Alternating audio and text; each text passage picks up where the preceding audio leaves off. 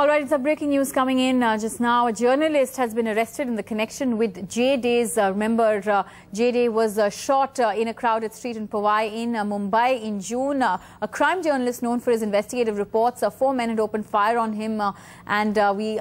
Let's just go across to my colleague uh, Shai Venkatraman for more details. Shai, what more can you tell us? Well, uh, we know that Jigna Vora, in fact, had been under investigation for a while in connection with MidDay, journalist J Dey's murder.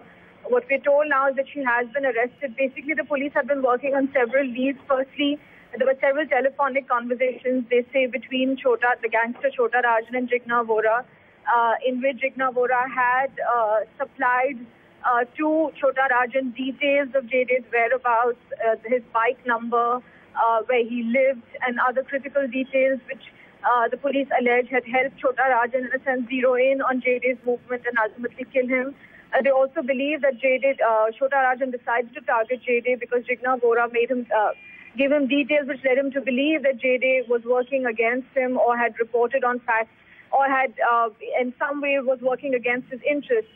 So these were leads that the police we know had been investigating for well over a month and it's now confirmed that the Mumbai police has arrested Jigna Vora in connection with his murder.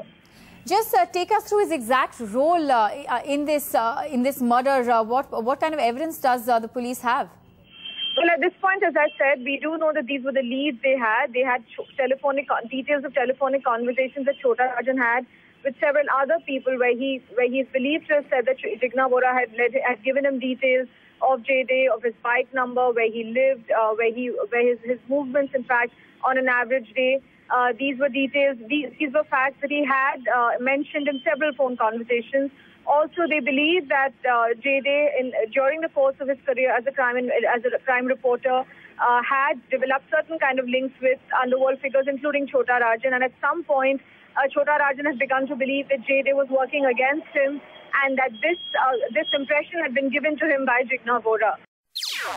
NDTV's Cricket app, Android and iPhone fastest scorecard, special analysis, and much more. Download free. NDTV.com